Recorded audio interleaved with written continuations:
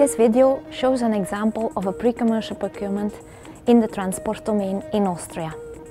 The procurement was undertaken in the context of the National Action Plan on Innovation Procurement in Austria. This action plan provides procurers political encouragement and financial incentives to undertake both pre-commercial procurements and public procurements of innovative solutions. This encourages procurers to take the first step as they receive support from the Austrian Research Agency and the National Competence Center on Innovation Procurement.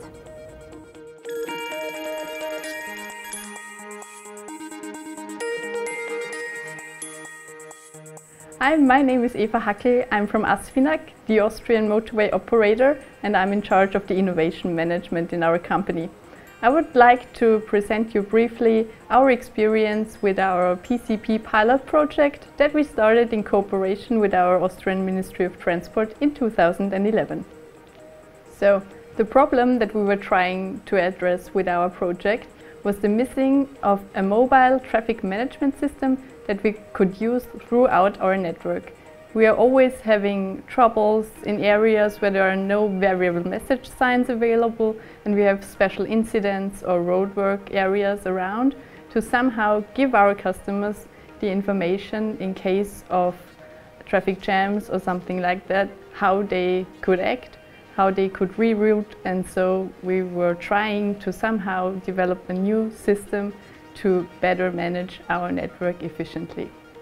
Uh, looking at the ICT part of our project, the main focus was of course on the traffic detection because that was the basis for also the displayed uh, recommendations to our customers. So the whole mobile management system was based on the measurement of the traffic flows to then give an advice and a recommendation to the customers how to react in case of congestion or other incidents.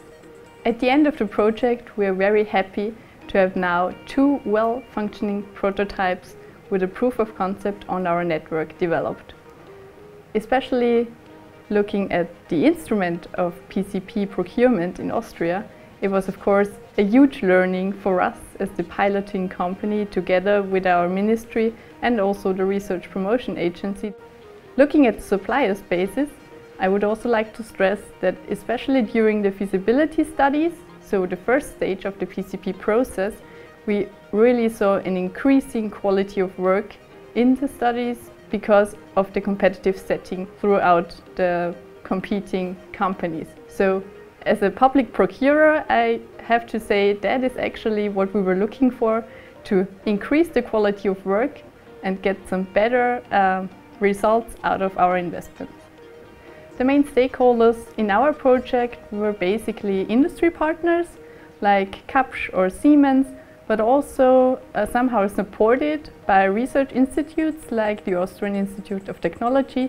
But, and that was really interesting to see, they also included some SMEs and small traffic planning offices in their consortia to somehow round up their uh, part of inputs and give the best possible solutions for the demanded systems. As a service-oriented public company, it is our main focus to always stay up to date with new technologies and new instruments.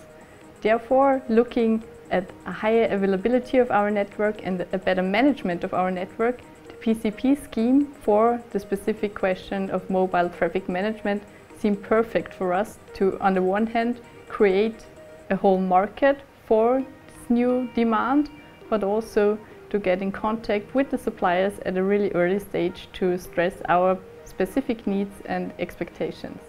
If I would be asked to give some good advice to other public procurers who are interested in, in innovation procurement projects is look around you.